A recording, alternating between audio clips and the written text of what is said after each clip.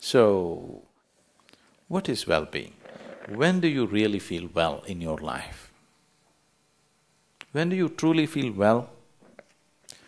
When you're very happy, you're well. Even if you're physically ill, you're still well, isn't it? Even if you're medically diagnosed as ill, you're very happy right now, you're feeling well, isn't it? So fundamentally, well-being means a certain level of joyfulness, certain exuberance of life. What is happiness? We can say happiness is this, that, but in terms of life, your life energies are happening in a more exuberant way what than it normally happens.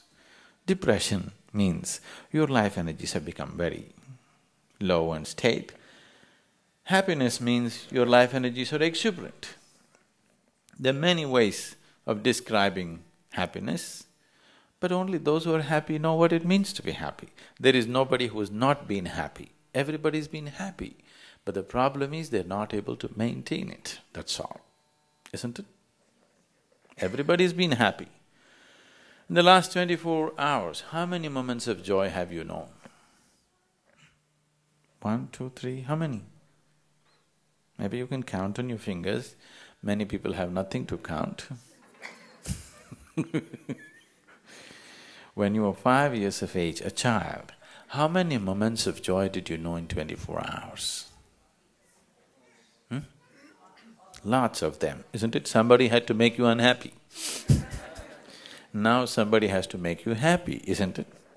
The whole equation has gotten reversed somehow. All this effort of life, everything that you do, did, education, career, business, family, whatever you did, everything was in pursuit of happiness, is it so? Everything that humanity has done on this planet is in pursuit of happiness, is it so? In the last hundred years, we have done too much on this planet. With the use of science and technology, we have changed the very face of this planet. Today, we have the kind of comforts and conveniences that no other generation could ever even imagine. Yes? What royalty could not afford hundred years ago, today average citizens have, isn't it so? Aren't most of you driving chariots with hundred, two hundred horses? yes? Even kings could not afford this. But are we any happier? We are definitely the most comfortable generation ever on this planet, is it so, physically? But are we also the most joyful generation? So it's not worked. Science and technology has brought enormous amount of comfort and convenience to our lives. Things that we could not imagine just twenty-five years ago are just a living reality today, isn't it? But are we any more joyful? No.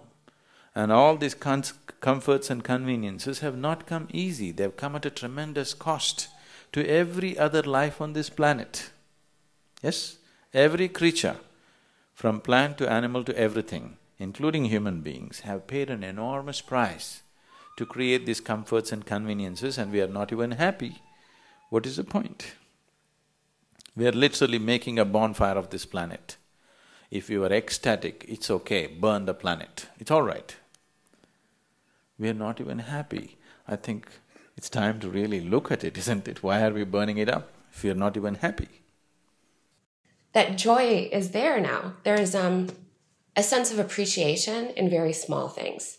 And I think inner engineering gave me the tools to come into my own life, to look at life from the inside instead of going from one meeting to the next meeting to meeting this person, meeting that person, always running. Just to stand still and appreciate where you are. My family sees me as much happier. They see that I don't react in an irritable manner like I used to to the same situation. Sometimes it could be some small things that would irritate me easily in the past. Now they just flow. After a stressful day, I would often come home irritated and easily irrit- irritable, and people would be careful not to disturb me too much. Now they see me coming home happy and they're happy to interact with me, and they know that small things won't bother me anymore. It's made home life a lot more pleasant. I have two daughters, they're 11 and 6, and I'm a single parent, so it's a busy life for me. And I, am tired, but I feel more ease and less, uh, less of a sense of worry about are things going to all get done?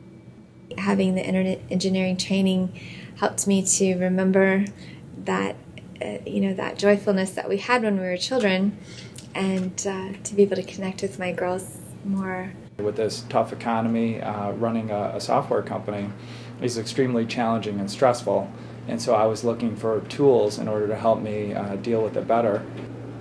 When I went to inner engineering, I really didn't have that much expectations because nothing I've tried has worked. I, have I've been a, a personal growth junkie for about six years. So I decided to give it a try, and I took inner engineering about a year and a half ago, and the results have been spectacular. I lost 40 pounds. Uh, my cholesterol went from 210 to 149, and my blood pressure is a lot lower, and my lifelong allergies have completely disappeared.